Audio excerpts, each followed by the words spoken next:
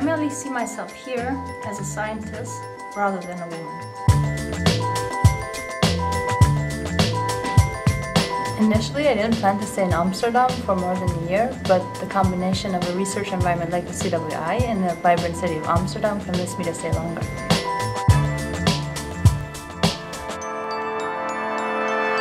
Throughout my 20 years of working at CWI, the Institute has been very supportive in both my roles as researcher and as mother.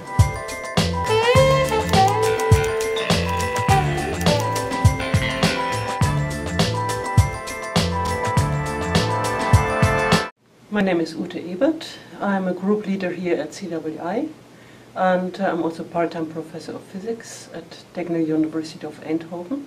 And my research is mainly concerned these days about with discharges, everything that has to do with lightning, small sparks and very big lightning discharges high above thunderclouds.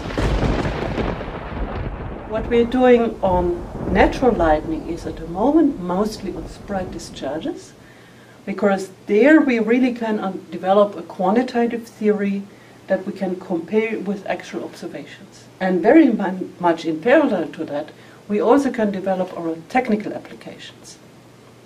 And the technical applications are like um, you want to clean the air um, from a highway close to a tunnel, or you want to disinfect air in a hospital.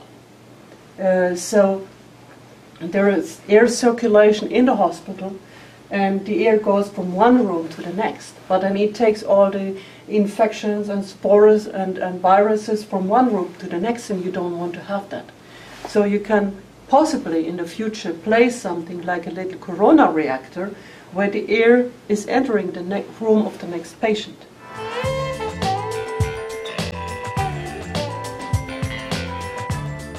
My name is Sara Ramezani. I am a PhD student at the CWI.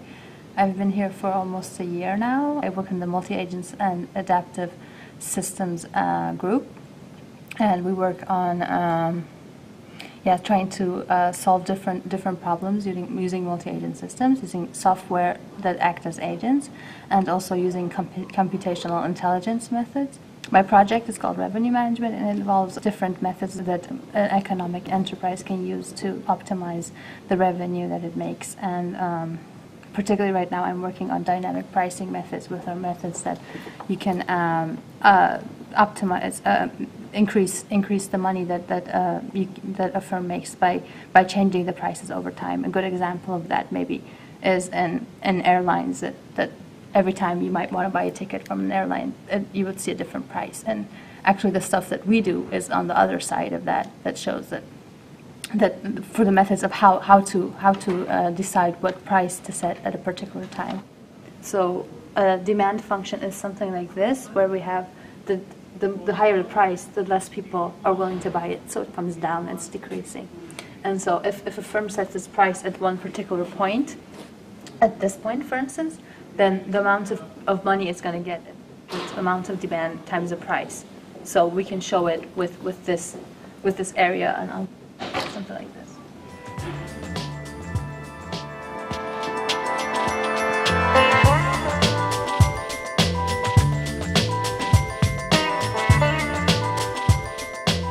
My mom does research at the CWI and she works with a lot of people she goes to conferences and yeah, that's really what I know about it.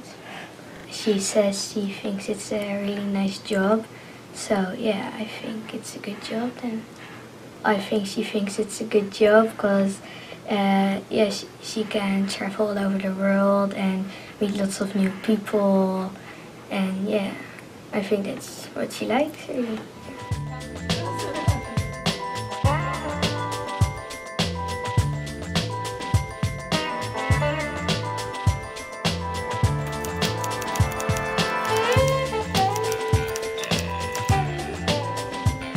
CWI, we do have role models like both of you, for example. So my scientific career will benefit in many different ways from my stay at the CWI.